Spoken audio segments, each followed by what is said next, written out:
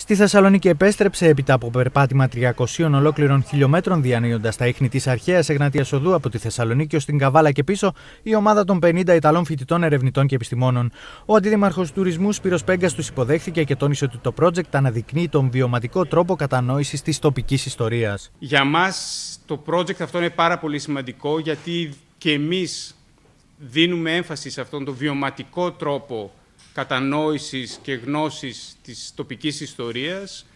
Ε, θεωρούμε ότι ο περιπατητικός τρόπος είναι ένας τέτοιος πολύ καλός βιωματικός τρόπος για να γνωρίσεις την ιστορία σου. Η Θεσσαλονίκη είναι ένα ανοιχτό μουσείο. Έγινε ένας δρόμος που διακινήθηκαν όχι μόνο εμπορεύματα, ε, όχι μόνο επιχειρήματα, επιχειρήσεις, επιχειρηματίες, ε, διακινήθηκαν κυρίως ιδέες και άνθρωποι και ήταν ένας δρόμος που συνέδεσε την Ανατολή με τη Δύση, την Ευρώπη με την Ασία.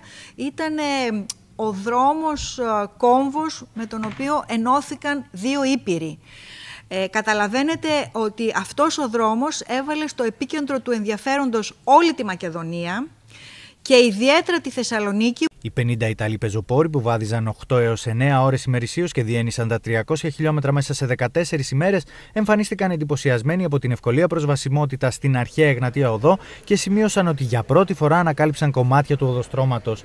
Επιπλέον τόνισαν ότι κατάφεραν να πετύχουν το στόχο τους που ήταν να αναβιώσουν τον ιστορικό δρόμο ως πεζοπορική διαδρομή πολιτισμού. We don't know where where was exactly the Ignatia. What we try to do is, first of all, uh, looking for all the points in which we exist, and the second is looking for the best route now to walk, uh, trying to take all the point.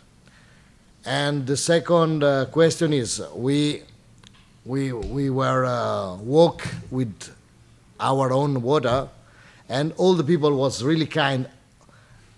Each one meet us, try to ask uh, where you come from, you need something. I'm sure that somebody in the second century BC told the same uh, thing. It's really an ambitious bro. So this kind of uh, cooperation that I would like to, uh, to say that uh, is going to start uh, this year with this our meeting here in Thessaloniki is going to uh, carry uh, us uh, until Constantinople, and I think that we have to continue working together in a stronger way.